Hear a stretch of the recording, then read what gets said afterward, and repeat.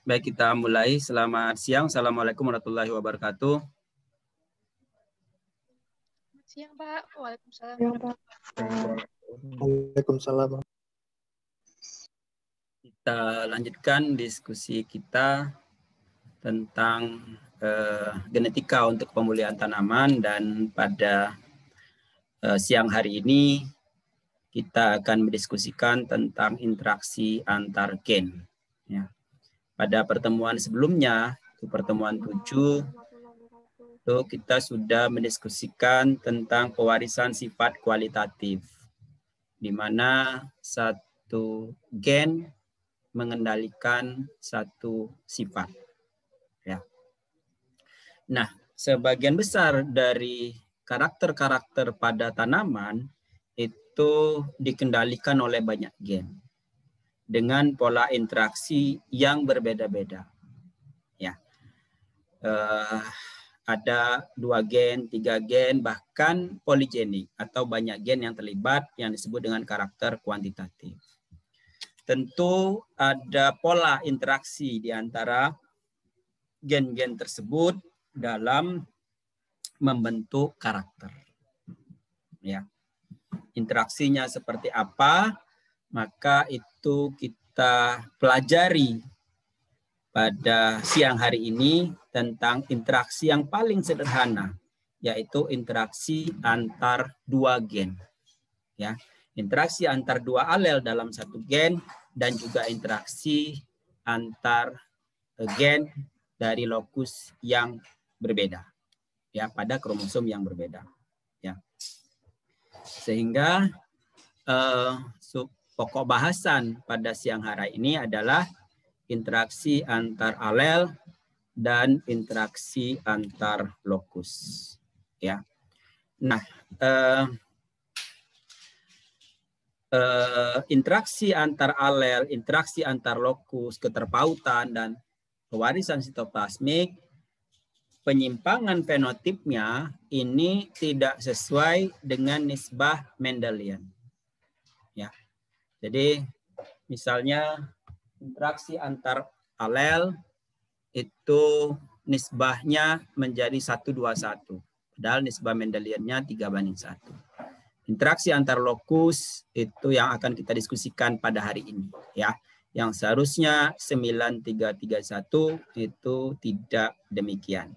Ya, Keterpautan juga demikian. Biasanya harusnya dua gen itu 9331, dua karakter itu 9331, tapi karena terpaut menjadi tidak demikian. Pewarisan sitoplasmik juga begitu. Nah, ini di orang sebut atau sebagian menyebutnya adalah penyimpangan nisbah Mendel ya nisbah yang sudah dipublikasikan oleh Mendel yaitu 3 banding 1 untuk monogenik dan eh, 9331 untuk uh, dua gen.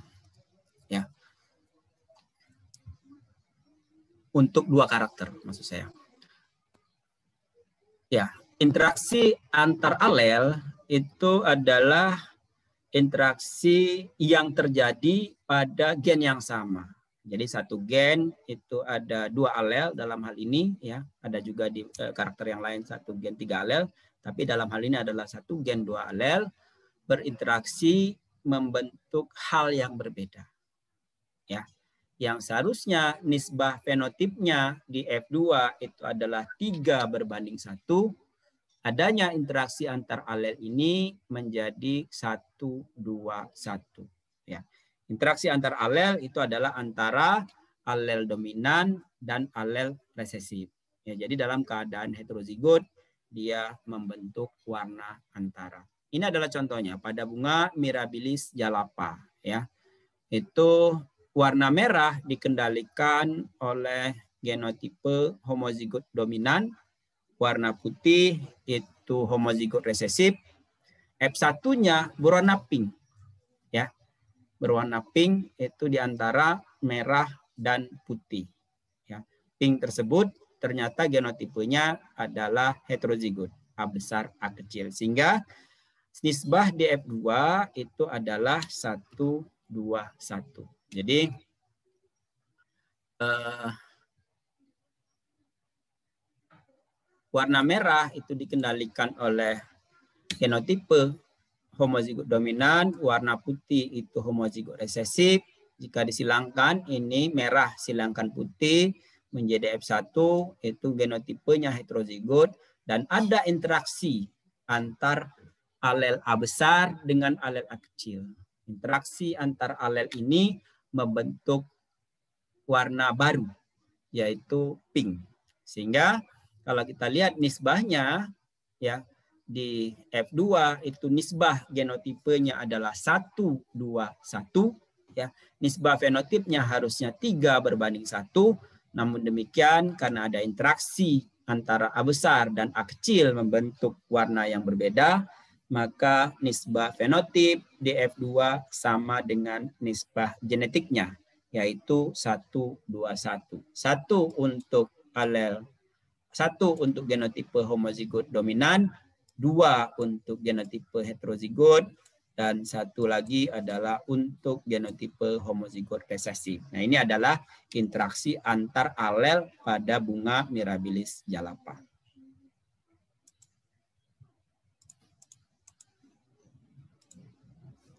Nah, jadi itu adalah contoh interaksi antar alel. Ya. Uh, interaksi antar alel yang lain pada golongan darah manusia misalnya itu juga uh, menunjukkan fenotip yang berbeda-beda. Golongan darah A, B, AB, dan O itu ketika berinteraksi itu akan me, menunjukkan karakter yang berbeda. Demikian juga pada interaksi antar alel pada pepaya misalnya. Ada pepaya hermaprodit, ya hermaprodit itu adalah M besar, ya, M besar pangkat H, M kecil itu adalah hermaprodit, di mana penampilan buahnya lonjong.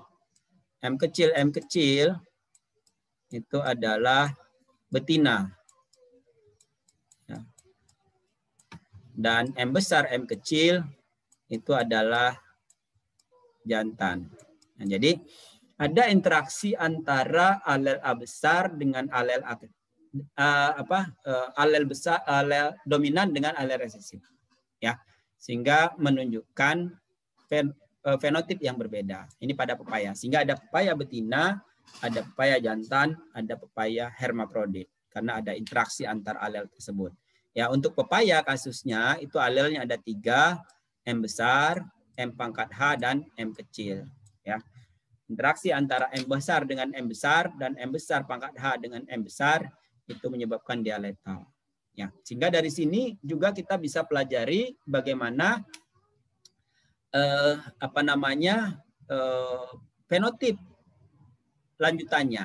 Jadi misalnya kalau ada ini pertanyaan eh, sebelumnya dari para petani, kalau ada benih pepaya hermaprodit, misalnya pepaya kalina itu dijual di pasar, itu genotipenya adalah M pangkat H, M kecil. Ya, genotipenya M pangkat H M kecil karena dia merupakan selfing dari pepaya hermaprodit. Ya. Nah, pepaya hermaprodit di selfing ini menjadi ini. Kemudian ketika benihnya ditanam, maka ada dua kemungkinan M besar pangkat H M kecil dan M kecil M kecil. Ada lagi M pangkat H M pangkat H dengan perbandingan satu dua, satu. Ya. M pangkat H, M pangkat H ini letal, tidak jadi tanaman, sehingga ada biji-biji yang putih pada pepaya, kemungkinan itu adalah letalnya. Kemudian M pangkat H, M kecil itu hermaprodit, M kecil, M kecil itu betina. Nah, yang hermaprodit ini pepayanya lonjong, yang betina itu adalah pepayanya bulat. Sehingga kalau kita menanam pepaya kalina, ya dalam satu rumpun itu harus menanam dua benih, dua tanaman karena ada peluang untuk menjadi hermaprodit dan betina dengan perbandingan dua banding satu. Ketika tanaman sudah mulai berbunga, sudah ketahuan jenis kelaminnya, baru dicabut yang betina karena betina tidak produktif, ya bentuknya bulat, buahnya tidak banyak, yang disisakan adalah hermafrodit. Sampai saat ini teknologinya baru itu karena tidak bisa membedakan antara bibit hermafrodit dengan bibit betina. Benihnya juga tidak bisa dibedakan mana benih yang akan menjadi hermafrodit, mana benih yang sebagai betina. Nah ini adalah fenomena interaksi antar alel pada pepaya. Ada pertanyaan interaksi antar alel? Semuanya? Sepertinya belum ada, Pak. Baik, berikutnya kita lanjutkan dengan interaksi antar lokus. Ya, Jika dua gen atau lebih yang berbeda, ini berbeda lokus maksudnya, berinteraksi dalam membentuk suatu fenotip, maka itu disebut dengan ada interaksi antar lokus. Ya, jadi aksi gen-gen dari satu lokus dapat menutupi pengaruh dari gen-gen pada lokus yang lain. Dapat menutupi, dapat bekerja sama, dan lain sebagainya. Bentuk fenotip yang lain. Jadi suatu fenotip itu merupakan hasil suatu proses metabolisme yang setiap tahapnya terdapat satu gen yang terlibat. Jadi diperlukan sederetan gen ya. Kalau ada interaksi. Dalam hal ini misalnya pada bunga bunga apa ini? Bunga snapdragon itu ada empat gen yang terlibat, ya. Sub, kemudian nip, ing, dan eos, ya. Kalau nipnya negatif, kalau nipnya negatif, maka dia akan terhenti, warnanya akan putih, ya. Sementara kalau dia nipnya positif, ya tergantung dari subnya. Kalau subnya itu negatif, maka dia menjadi yellow. Kalau subnya positif, dia menjadi eufori. Ya, dengan catatan ingnya negatif. Tapi kalau ingnya positif, ya tergantung dari ios. Kalau iosnya positif, maka dia menjadi karmin atau magenta. Ya, kalau nipnya positif, ingnya positif, iosnya positif, subnya negatif, dia karmin. Kalau nipnya positif, ingnya positif, iosnya positif, sufnya positif, maka dia jadi magenta. Ya. Kalau ini negatif, maka dia akan menjadi pink atau bronze. Kalau ini negatif, maka dia akan ivory atau yellow. Kalau ini negatif, maka dia akan menjadi putih. Jadi untuk mendapatkan bunga snapdragon yang berwarna karmin atau magenta, diperlukan empat gen yang terlibat. Ya, utamanya adalah NIP. Kalau dia negatif, maka tidak akan ada warna yang lain. Jadi itu adalah salah satu contoh interaksi beberapa gen sekaligus dalam membentuk warna bunga snap snapdragon. Ya. Jadi ini adalah yellow tadi, white, yellow, bronze, carmine, ivory, pink, dan magenta. Maka ada tujuh warna ya dari Snapdragon ini dikendalikan oleh empat gen. Walaupun dia kualitatif, tapi ini eh, empat gen yang terlibat. Sehingga ilustrasi lintasan metabolismenya adalah demikian. Gen A menghasilkan enzim A. Gen B menghasilkan enzim B. En, gen B akan bisa menghasilkan enzim B kalau enzim dari gen A ini terekspresi. Ya. Jadi kalau A tidak terekspresi, B tidak lanjut, C apalagi D dan seterusnya. Ya. Untuk sampai ke produk ini harus terekspresi semua. A terekspresi menginduksi B, B terekspresi menginduksi C, C terekspresi menginduksi D dan D terekspresi akan jadi produk. Salah satu dari ini tidak terekspresi maka produk tidak dihasilkan. Ini adalah ilustrasi. Nah, ada tiga kelompok interaksi antar lokus yang disebut dengan epistasis, yaitu komplementasi, modifikasi, dan duplikasi. Kita lihat satu persatu. Ya, jadi kalau tidak ada interaksi, ini adalah uh, 9331, tapi kalau ada interaksi maka dia tidak sesuai dengan perbandingan 9331. Komplementasi misalnya 97, 934. Modifikasi 133, 763, 1231 dan duplikasi itu 15 banding 1. Ya, kita akan lihat satu persatu. dari uraian, komplementasi, modifikasi, dan duplikasi. Kelompok pertama adalah interaksi gen komplementasi. Jadi dalam metabolismenya, fungsi gen dari satu lokus akan diperlukan oleh gen dari lokus yang lain. Contoh yang tadi proses metabolisme sehingga disaksikan produk atau dari Snapdragon tadi. Ya. Ini terdapat dua kasus yaitu nisbah 97 dan nisbah 934. Contoh nisbah 97 adalah pembentukan HCN pada tanaman clover di mana sianida dibentuk dari diagenik glukosa dengan bantuan enzim linamirase. Ya. Diperlukan alel-alel dominan pada lokus A dan B, di mana lokus A itu membentuk sianogenik. Ya. Jika tidak ada lokus A, maka sianogenik tidak terbentuk. Jika tidak ada lokus B, maka enzim linamirase tidak terbentuk. Ya, jadi lokus A besar harus ada dulu menghasilkan sianogenik glukosidase, kemudian untuk mengolah sianogenik menjadi eh, sianida perlu enzim linamirase yang dihasilkan oleh lokus B besar. Dengan demikian, maka alel A besar menghasilkan sianogenik ya. Kemudian alel B besar menghasilkan enzim linamirase, enzim linamirase mengolah sianogenik menjadi HCN. Jadi kalau B besar tidak ada, ini artinya B kecil B kecil, maka HCN tidak terbentuk atau A besarnya tidak ada, ini A kecil A kecil, apa pun juga dalam bentuk B-nya, mau B besar atau B kecil, maka HCN tidak terbentuk. Ya. Sehingga ini adalah ilustrasinya ya. Jadi HCN ini yang berwarna hijau ini akan terbentuk kalau A dan B dalam keadaan dominan. Ya. Kalau salah satunya itu resesif, misalnya ini adalah B resesif, ini adalah A resesif, apalagi dua-duanya resesif, maka tidak terbentuk HCN.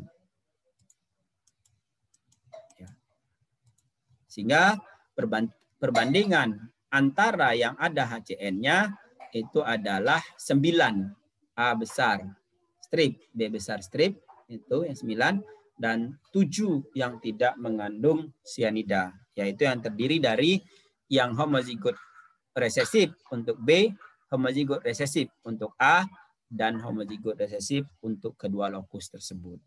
Ya. Ada pertanyaan untuk 9 banding 7. Kemudian yang berikutnya adalah kasus 934 yang disebut dengan epistasis resesif. Contohnya pada bunga Linaria marokana. Itu ada warna ungu, warna putih, dan warna merah.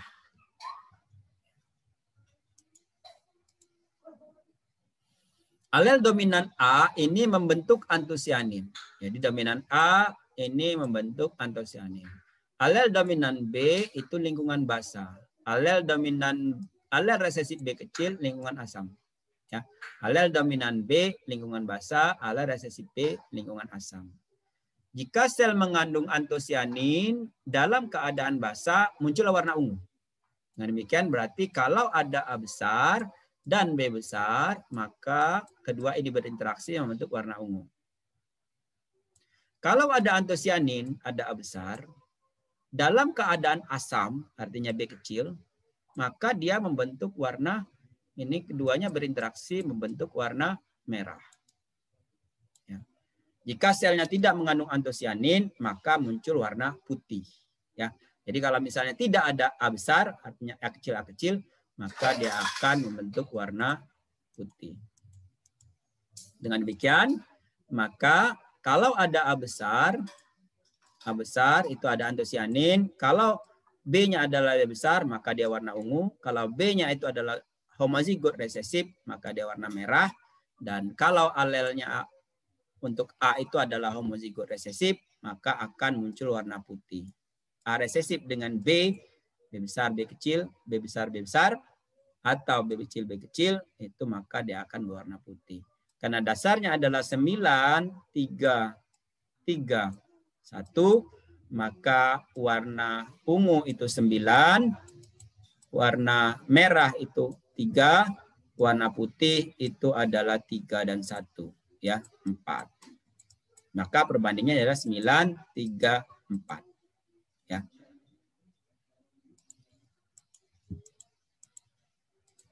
Sehingga ilustrasinya adalah seperti ini ya. ya jadi eh, dalam keadaan homozigot resesif. Untuk B dia akan warna merah. Ya. Kalau A dan B ada alel dominannya, maka dia akan warna ungu. Kalau A-nya dalam keadaan homozigot resesif, dia akan berwarna putih. Sehingga perbandingannya adalah 934 untuk warna ungu, merah, dan putih.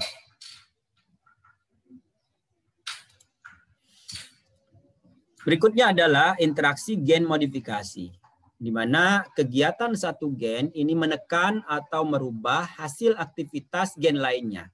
Ya. Terdapat tiga kasus, yaitu 13 banding 3, 763, dan 1231. Ya, contohnya 13 banding 3 itu adalah pembentukan aleuron pada jagung. ya, Di mana alel dominan A membentuk pigmen alel domin maaf, alel dominan B membentuk pigmen. Alel dominan A mencegah pembentukan pigmen. Jadi kalau ada dominan A, maka pigmen tidak terbentuk. Ya, meskipun dia dalam keadaan B besar.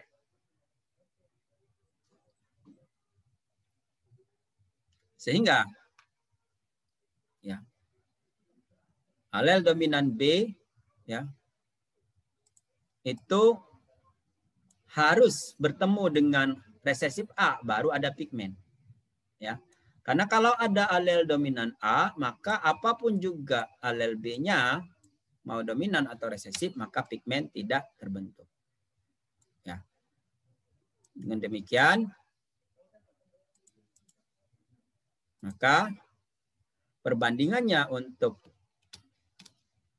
ya, yang berwarna ya, dengan yang tidak berwarna itu adalah 13 berbanding 3. Di mana yang tiga itu adalah karena ada alel dominan A ini satu dan homozigot resesif A. Ya, ini kalau salah satu dari ini A-nya adalah ada alel dominan, maka tidak terbentuk jagung berwarna.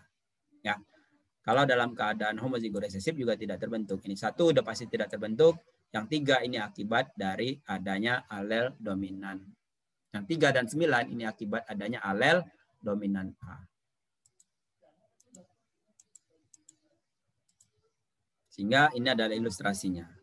Ya, Mengapa aleron jagung itu perbandingannya adalah 13 banding 3 tiga yang mengandung aleuron.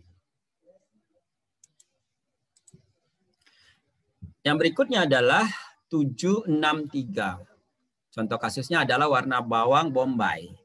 Pigmen terbentuk jika ada gen dominan B. Genotipe A besar A besar ini menekan pembentukan pigmen. Jadi kalau ada A besar A besar dalam keadaan homozigot dominan maka pigmen tidak terbentuk. Ya.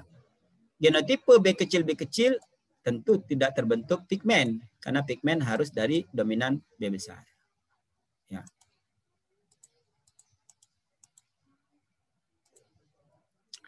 Nah, genotipe A besar A kecil akan menekan sebagian sehingga jika ada gen B besar akan berwarna kuning. Ya. Genotipe A kecil A kecil tidak menekan peran G besar, B besar sehingga berwarna merah. Jadi kalau ada B besar tanpa adanya A besar, dia akan berwarna merah. Kalau ada A besar, dia tidak berwarna. Kalau ada A besar A kecil, dia akan berwarna kuning. Jadi kalau ada A besar A besar itu akan ditekan sehingga warna putih. Apa pun juga B-nya, ini B ini kan warnanya yang berwarna tadi. Jadi kalau B-nya kecil pasti tidak berwarna. Tapi kalau ada A besar walaupun dia ada gen yang menginisiasi warna, dia tetap akan warna putih karena ditekan oleh gen A besar. Sementara A besar A kecil ini menekan sebagian. Jadi kalau ada alel B besar itu dia akan berwarna kuning ya. Dia akan warna merah kalau A-nya dalam keadaan homozigot resesif dan B-nya ada alel dominan. Sehingga bentuknya adalah seperti ini. Jadi kalau ada alel A yang dominan, maka tidak akan terbentuk pigmen. Ya, kalau B-nya tidak dominan, juga tidak terbentuk pigmen, apalagi kalau dua-duanya resesif. Pigmen akan terbentuk kalau B-nya dalam keadaan ada alel dominannya dan A-nya dalam keadaan homozigot resesif. Ya, kalau A-nya dalam keadaan heterozigot, maka dia akan terbentuk warna kuning. Dia akan menekan sebagian. Ya. Sehingga perbandingannya adalah 7 berbanding 6 berbanding 3. Ya. 3 yang merah, 6 yang kuning, dan 7 yang putih. Berikutnya adalah nisbah 1231, yaitu epistasis dominan, di mana kedua gen bekerja menghasilkan produk yang berbeda. Produk salah satu gen tersebut menutupi penampilan produk yang lain. Ya. Produk salah satu gen itu menutupi produk yang lain. Contohnya adalah warna skam gandum. Di mana pigmen hitam ini dikendalikan oleh alel A besar, pigmen kuning ini dikendalikan oleh alel besar, jika ada pigmen hitam, maka pigmen kuning tidak akan tampak. Sehingga kalau ada A besar, maka dia akan menjadi uh, hitam.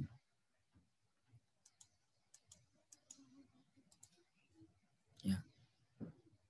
Jadi kalau ada alel A besar, ada alel besar, maka dia akan jadi hitam. Ya. Kalau tidak ada alel besar, tergantung B-nya. Kalau ada alel B besar, maka dia akan kuning.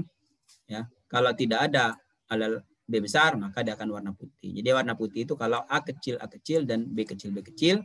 Sementara warna kuning itu kalau ada alel A besar di mana alel B besar di mana alel A besarnya tidak dominan. Tidak ada yang dominan. Sehingga ini ya. Persilangan antara dua antara yang hitam dan putih ini menghasilkan hitam dan di F2-nya menghasilkan turunan yang berbeda. Jadi epistasis itu bisa menghasilkan turunan yang berbeda. Ya. Menghasilkan turunan yang berbeda. Di F2 ini terbukti ada yang berbeda. Ya. Sehingga perbandingannya 1231 di F2.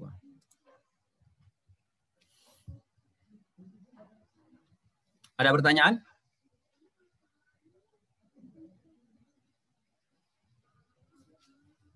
Ini adalah interaksi gen duplikasi, di mana interaksi berlangsung karena dua gen menghasilkan bahan yang sama dan fenotip yang sama. Ya. Duplikasi itu menghasilkan bahan yang sama, fenotip yang sama. Terdapat satu kasus, yaitu 15 banding 1. Ini sifat bulu pada cakar ayam. Ini bulu dikendalikan oleh alel A besar dan alel B kecil jika salah satu atau kedua alel tersebut ada, maka akan muncul bulu pada cakar ayam. Ya. Jadi kalau ada alel A besar saja, ada alel A besar, ada alel B besar saja, atau ada kedua-duanya, maka akan terbentuk bulu. Sementara kalau dua-duanya homozigot resesif, dia tidak berbulu. Sehingga perbandingannya adalah 15 berbanding 1. Itu adalah contoh-contoh dari ilustrasi bagaimana interaksi antar alel dan interaksi antar lokus atau antar gen di mana gen itu terletak pada kromosom yang berbeda. Ya, ini untuk memberikan pemahaman bagi kita bagaimana interaksi antar dua gen. Ya, pola interaksi antar dua gen. Ya, jadi kalau misalnya ternyata banyak gen yang terlibat, mungkin polanya akan berbeda lagi. Nanti akan dibicarakan pada genetika kuantitatif. Pengantar genetika kuantitatif di mana banyak gen yang terlibat, masing-masing gen perannya kecil-kecil, sehingga alat ukurnya tidak lagi menggunakan perbandingan tadi, tetapi menggunakan eh, apa parameter yang lain, yaitu misalnya heritabilitas, keragaman genetik, keragam genotip dan lain sebagainya. Ya. Ada pertanyaan?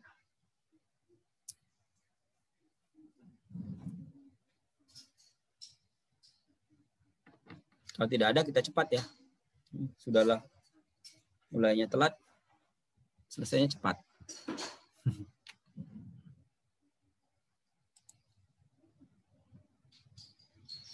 Nanti di praktikum itu akan dijelaskan lebih lanjut. Jadi misalnya begini, kalau persilangan A dengan B menghasilkan eh, F1 yang demikian, dan kemudian F2 menghasilkan pola yang demikian, misalnya 9 banding 7 tadi, eh, seperti kasus pada HCN, maka di F2 ketika disilangkan antara F2 menghasilkan perbandingan tertentu, misalnya tentukan genotipe genotipe F2 yang disilangkan tersebut. Nah, itu saya kira uh, tantangan tersendiri ya. Jadi uh, kita mengambil tanaman F2 disilangkan lalu ada perbandingan tertentu diminta menebak kira-kira genotipe tetuanya genotipe F2 yang kita ambil itu adalah seperti apa.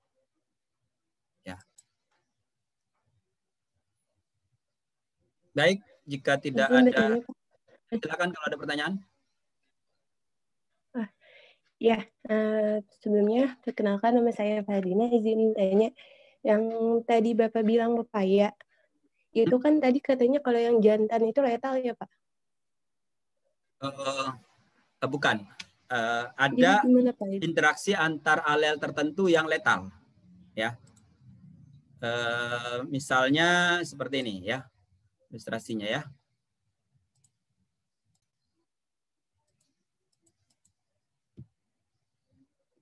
Saya minta ini saja kertas. Misalnya begini. Jadi pada pepaya kasusnya ada tiga alel. Dua, bukan dua alel. Walaupun dia diploid, ini tiga alel. Seperti golongan darah manusia. M besar, ada alel M besar. Ada alel M besar pangkat H. Ada alel M kecil ketika M besar bertemu dengan M kecil, maka jadi pepaya jantan. Begitu. Ketika M besar pangkat H, M kecil, itu pepaya hermaprodit. Her. Artinya pepaya yang ada uh, alat kelamin jantan dan betina dalam satu bunga dan cirinya ini lonjong buahnya. Jadi kalau buah pepaya lonjong, lonjong. Ini lonjongnya jadi gambarnya nggak benar. Uh, jadi lonjong ya. Kalau teman-teman menjumpai buah lonjong di pohon dan lebat itu payah hermafrodit. Sementara yang betina itu adalah M kecil, M kecil. Itu betina. Pepaya betina, setiap bunga yang muncul adalah bunga betina. Nggak ada jantannya namanya tanaman betina. Tanaman hermaprodit. Tanaman jantan. Tanaman jantan pepayanya adalah pepaya gandul. Mungkin ada buah di ujung. Itu adalah modifikasi. Ya. Nah, sementara yang yang lain ada alel lain kan? Ada M besar, M besar, ada M besar pangkat H, M kecil. Eh, maaf. M besar, maaf. Ada M besar pangkat H, M besar pangkat H. Ya, ini ada peluang yang lainnya. Ini adalah letal. Ini yang letal. Ya. Nah, jadi kalau misalnya ada pepaya hermaprodit, biasanya kalau kita produksi produksi benih adalah dari hermaprodit, nggak mungkin produksi benih dari betina karena bihnya sedikit. Produksi benih dari hermaprodit, nggak mungkin juga dari jantan karena nggak ada buah. Jadi kalau untuk produksi benih mesti di lahan itu pepaya betinanya tidak ada, pepaya jantannya tidak ada. Harus steril dulu dalam dalam radius 500 eh, meter. Sehingga berarti yang terjadi di sana adalah pepaya hermaprodit M pangkat H M kecil. Jadi interaksi antara M pangkat H M kecil membentuk pepaya hermaprodit. Nah, dari sini dari pepaya hermaprodit kalau misalnya kita uh, selfing atau bertemu juga dengan pepaya hermaprodit yang lain, ya, atau selfing, maka tentu ini M pangkat H. M pangkat H, ini kan Mendelian biasa, M pangkat H. M kecil, dan M kecil, M kecil dengan perbandingan 1, 2, 1. Ya. Nah ini adalah hermaprodit, ini adalah betina, dan ini letal. Sehingga kalau pepaya buah pepaya yang hermaprodit kita ambil itu ada yang eh, apa namanya bijinya putih-putih itu yang letal ini perbandingan satu. Yang lainnya adalah yang hitam itu nanti akan jadi pepaya hermaprodit akan jadi betina. Nah, karena bijinya tidak bisa di, di, di, dibedakan antara hermaprodit dan betina, demikian juga kalau kita semai bibitnya juga tidak bisa dibedakan mana hermaprodit mana betina, peluang terjadinya adalah dua banding satu, dua banding satu artinya eh, dua per dua per berapa dua per tiga ya dua per tiga dari tanaman itu akan jadi hermaprodit dan sepertiga akan jadi betina maka cara satu-satunya adalah dalam satu lubang tanam tanami dua dua atau tiga nanti kalau dia berbunga biasanya umur empat bulan sudah mulai berbunga kalau kali kalina ya itu akan ketahuan dia hermaprodit atau betina kalau hermaprodit ada alat kelamin jantan dan betinanya kalau betinanya kalau betina saja tidak ada eh, jantannya maka mulai dicabut, dibuang, di, dipotong yang betinanya. Tinggal yang hermaproditnya. Itu yang dilakukan oleh petani sekarang. Nah, Anda nanti kalau KKN, kalau KKP, ada petani yang menanyakan tentang pola seperti ini, harus bisa menjawabnya. ya. Mengapa harus menanam pepaya itu satu lubang, dua bibit misalnya. Itu harus bisa dijawab. ya Karena fenomena genetik yang seperti ini. Kira-kira itu ya. Mbak Farah Dina. Iya, Mbak. Terima kasih Pak jawabannya. Ada lagi yang lain?